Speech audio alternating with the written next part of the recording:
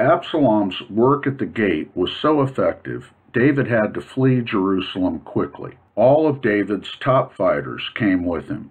The faithful priest and the loyal adviser, Hushai, were left behind as spies. When Absalom's personal adviser recommended he have public sex with David's wives, signifying he now had all that was David's, and send Amasa, one of David's cousin and Absalom's general, to strike at David immediately. Absalom returned to Jerusalem and found Hushai, David's adviser, waiting. Absalom said, This is how you repay your friend? Hushai replied, I am a friend to the king of Israel, and that's you. Absalom listened.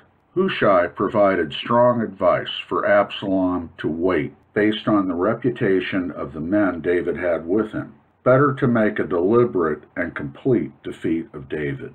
Absalom followed Hushai's counsel to wait and set up a big public tent to copulate with David's women. Then Hushai advised David to cross over the Jordan and prepare for battle. David made three groups of his fully provisioned force. He wanted to join the battle. His men all said, They would rather kill you than 10,000 of us. Stay home. David ordered his men to deal kindly with Absalom. Absalom came with his general Amasa, and the battle joined in the forest. Twenty thousand of Absalom's men were killed. Absalom was also killed. The trees of the forest killed as many as the sword that day.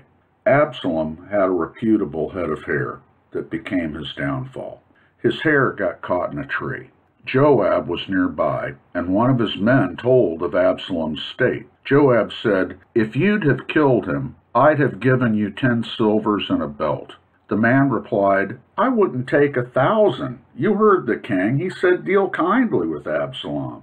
Joab found Absalom. His ten top soldiers fought in towards Absalom, and then Joab thrust his sword to kill him. David mourned Absalom bitterly in his tent. Joab was livid when he heard David was mourning. He burst into David's misery and said, Now we all know you would rather have us dead than Absalom. Men who should be celebrating are in their tents like you. If you don't get out there and start a party, you will not be king tomorrow. David started a party. David messaged Jerusalem, Why am I not invited back? I will fire Joab. Then Absalom's general Amasa will command the army. Judah always stayed with David. Israel not so. When David returned to Jerusalem, only the Judeans accompanied him. There was a row at this time with other tribes and Judah, with Judah making most of the noise.